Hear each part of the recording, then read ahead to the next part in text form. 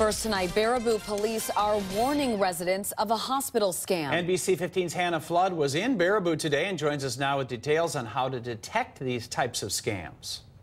John and Lee, this letter claims to be coming from an organization issuing hundreds of dollars in patient refunds on behalf of St. Clare Hospital in Baraboo.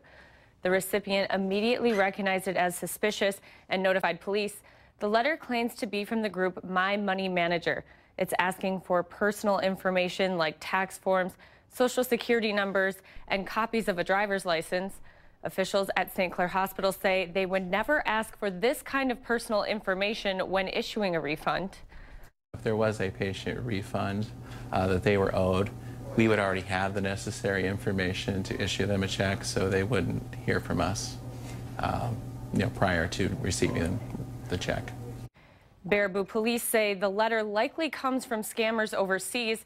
They say they have seen scams from My Money Manager in the past, but they've never seen one involving the hospital.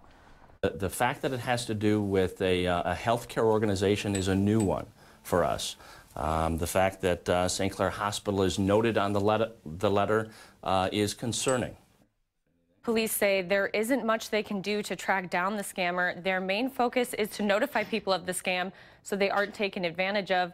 So far, officials tell me only one person has reported the scam. They urge anyone who receives mail asking for personal information to contact police before sharing anything.